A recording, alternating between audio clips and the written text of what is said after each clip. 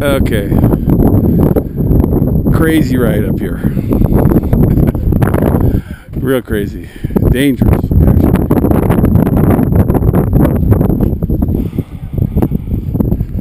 Not a good ride for somebody that's got vertigo. yeah.